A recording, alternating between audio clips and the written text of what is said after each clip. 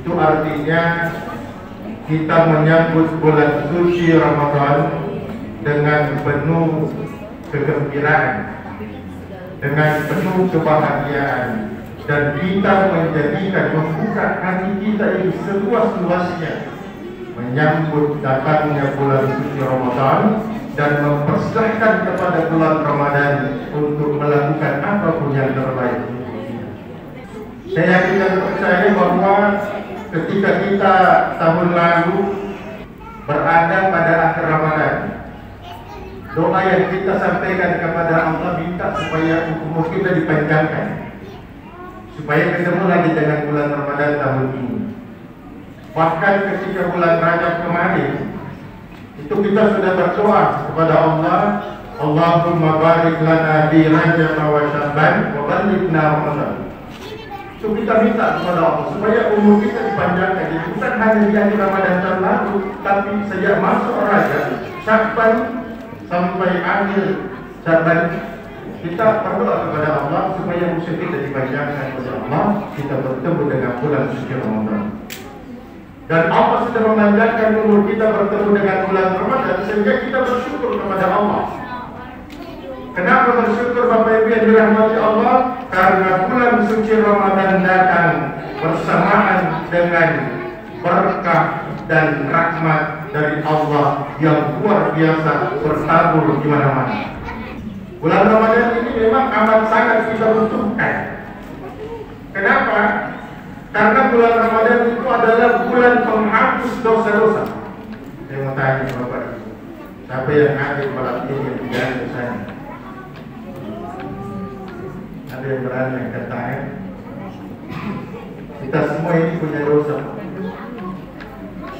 Mungkin ada dosa yang kita lakukan kita sengaja.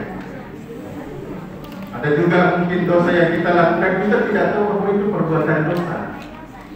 Dan ada dosa yang kita lakukan tidak sengaja.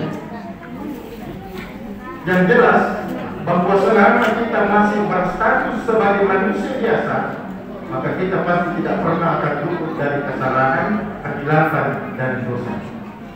Bulan Ramadan datang membakar habis dosa-dosa kita.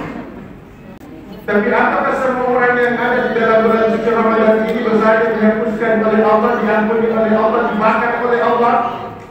Jawabannya itu tergantung kepada kita masing-masing.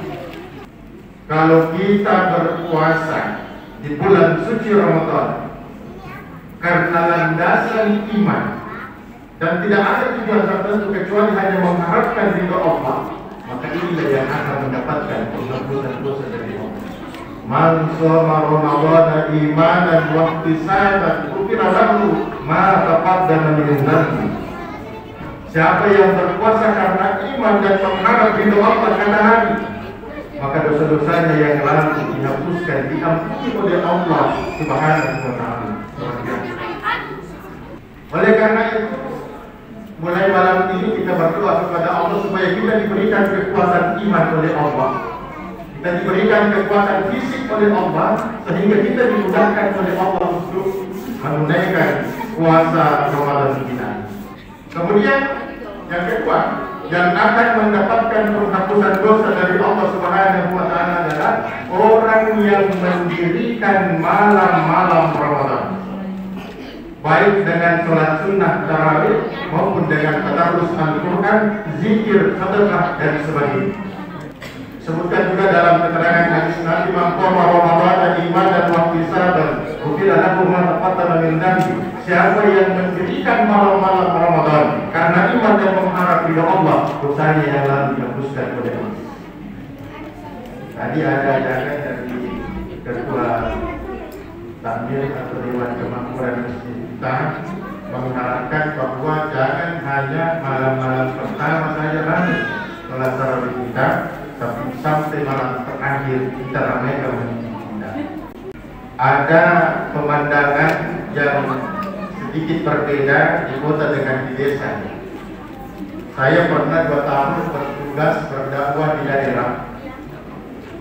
itu kalau semakin habis Ramadan itu masih semakin penuh kalau di daerah. Tapi kalau di Makassar itu rata-rata pengurus masjid kalau malam pertama semua pengurus masjid berpikir bagaimana supaya masjid ini diperluas karena tidak muat masjid. Malam kedua masih berpikir pengurus masjid untuk memperluas masjid sampai malam ke-10 masih begitu sudah mulai masuk pertengahan pengurus masjid sedikit memburukkannya.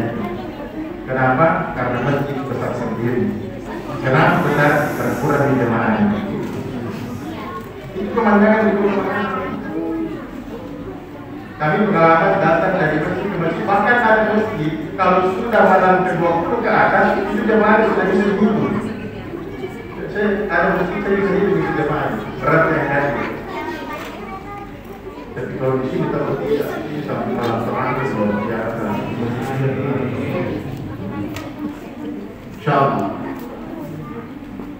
Jadi puasa kemudian mendirikan malam-malam Ramadan dihapuskan dosa-dosa kita oleh Allah. Yang melewatkan ini, Pak, yang melewatkan ini dosanya tidak akan dibakar oleh. Jadi rugilah dia mendapati bulan Ramadan tidak berpuasa dengan baik dan tidak mendirikan malam-malam. Bapak Ibu yang sangat dirahmati oleh Allah Subhanahu wa taala. Yang pertama, dosa dihapuskan diampuni oleh Allah luar biasa dan ini adalah kebutuhan kemudian yang kedua yang spesifik yang spesial di bulan suci Ramadan itu adalah doa-doa kita diijabah oleh Allah. Saya ulang. Doa-doa kita diijabah oleh Allah Subhanahu wa taala di bulan suci Ramadan ini. Makanya manfaatkan bulan Ramadan ini. Jangan lewatkan malamnya, jangan lewatkan hari-hari Ramadan kita tanpa adanya permintaan-permintaan khusus, permintaan-permintaan terbaik kita kepada Allah. Dalam sebuah keterangan hadis yang diriwayatkan oleh Imam Abu Dawud, Rasulullah bersabda, "Bisaimi inda iftarihi da'watun mustajabah." Ini waktu yang luar biasa di mana doa kita dijawab oleh Allah yaitu pada saat kita berbuka puasa. Jadi kalau kita berbuka puasa Bapak Ibu itu waktunya tidak terlalu banyak. Usahakan pada saat kita sudah menentu air berdoa mati di situ terbaik kita kepada Allah. Oleh karena itu Bapak Ibu kepada para pengurus masjid itu mohon kalau sudah azan orang kan orang rumah itu baru berbuka. Usahakan kasih interval waktu paling minimal 10 menit. Kemudian baru komat untuk menunaikan sholat maghrib. Kenapa? di situ waktu kita bisa banyak pagi berdoa kepada Allah Subhanahu wa taala. Di situ ada dua ada dua waktu mustajab pertama bagi orang yang berpuasa pada saat dia berbuka karena nanti doanya dijawab yang kedua itu juga waktu dijawab kenapa? karena antara azan dan iqamah. Antara azan dan komat itu jangan biarkan waktu itu berlalu percuma begitu saja tanpa kita berdoa kepada Allah karena waktu itu dijawab sekali doa kita jadi terdapat di sisi dua waktu dijawab itu sekali sama kalau hari Jumat. Hari Jumat itu pada saat hadis duduk antara khutbah pertama dan khutbah kedua di situ dua juga waktu mustajab. Pertama antara buka pertama tiba kedua itu dijaga doa kemudian yang kedua antara azan dan iqamah. Jadi jangan lewatkan waktu-waktu itu kenapa? Begitu pak. Kalau minta di sini jangan terlalu banyak satu saja satu saja karena kalau terlalu banyak ini satu saja kita minta tapi betul-betul hati ini hati ini betul-betul menghadap kepada Allah betul-betul connect dengan Allah Subhanahu wa taala lalu kita meminta permintaan spesial kita kepada Allah. Kalau Abdullah bin Umar itu ketika dia berbuka yang banyak diminta kepada Allah adalah dia berdoa untuk dirinya, untuk istrinya dan anak-anaknya. Dia berdoa keluarganya saat berbuka. Dan memang saat ini kaum muslimin dan muslimat yang dirahmati Allah, kita harus banyak-banyak berdoa untuk anak-anak kita. Kenapa? Karena godaan, tantangan yang dihadapi oleh anak-anak kita saat ini luar biasa luar biasa. Anak-anak kita sekarang terkadang lebih banyak diajari oleh jadinya daripada kita. Banyak orang tua kalau dia luput dari mendidik putra putrinya, mendampingi putra putrinya, maka yang akan mendampingi dia dan mendidik dia adalah alat teknologi. Teknologi. Makanya kita harus banyak berdoa. Kemudian dalam keterangan hadis yang lain yang bersumber dari sahabat Nabi Abu Hurairah radhiyallahu anhu, hadis ini bersumber dari Imam Ahmad. Rasulullah bersabda, salah satu la turat da'watuhum. Ada tiga golongan manusia kata Nabi, itu doanya tidak ditolak. Salah satu di antaranya adalah wasoimu hatta yuftir. Orang yang berpuasa sampai dia berbuka itu waktunya di situ Pak. Jadi mulai kita berpuasa ketika sudah imsak sampai kita berbuka waktu itu luar biasa dijaga juga kita punya doa manfaatkan waktu ini Ramadan itu luar biasa Pak yang kita berdoa kepada Allah mudah-mudahan kita diingatkan oleh Allah selalu berdoa kepada Allah Subhanahu wa taala dengan doa-doa terbaik kita. Yang terakhir yang ingin saya sampaikan bahwa bulan Ramadan ini pahala kita dilipat gandakan oleh Allah. Ibadah sunnah yang kita lakukan di bulan Ramadan sama pahalanya wajib yang kita lakukan di luar bulan suci Ramadan. Di mana saudara yang begini?